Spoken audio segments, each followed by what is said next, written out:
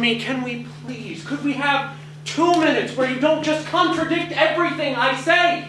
Can we do that? Cathy, please. Two minutes. Then it's your turn. You can say whatever you want. There are people, and they are publishing my book. And there's a party that they are throwing. And while you've made it very clear that you're not going, I will be going. And that's done.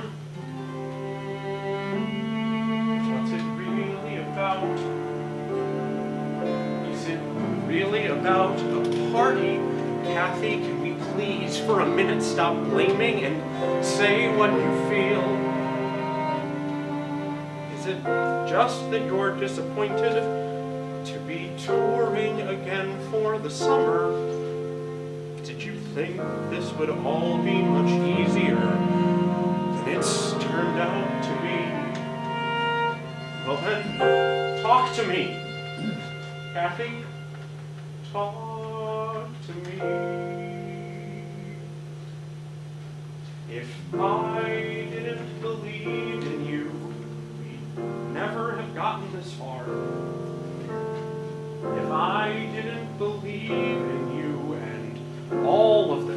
10,000 women you are, if I didn't think you could do anything you ever wanted to, if I wasn't certain that you come through somehow,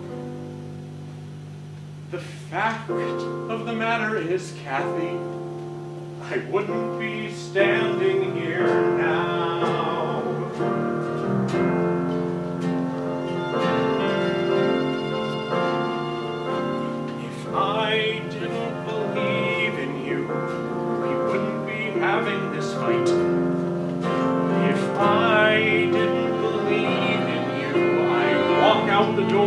Say, Cathy, you're right, but I never could let that go.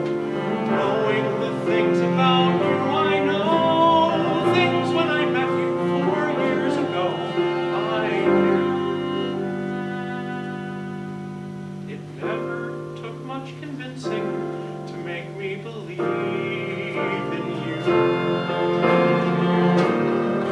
Don't we get to be? At some point down the line, don't we get to relax? Without some new tourist to push me and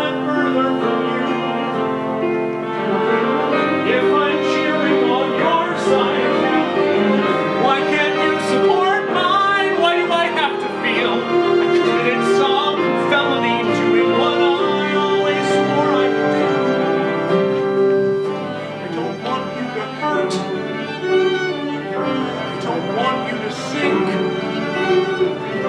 But you know what I think.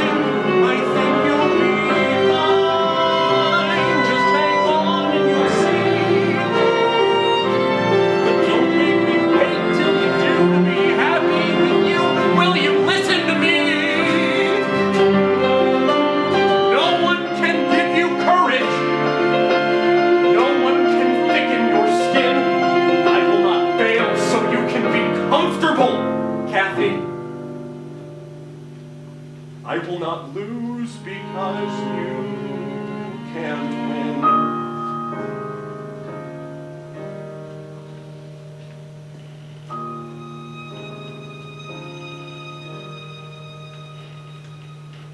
If I didn't believe in you, then here's where the travelogue ends. If I didn't believe in couldn't have stood before all of our friends and said, This is the life I choose. This is the thing I can't bear to lose. Trip us or trap us, but we refuse to fall. That's what I thought we agreed on, Cathy. If I believed in you, I wouldn't have loved you at all. Now, why don't you put on your dress and we'll go, okay? Cathy, can we do that? Please! Please!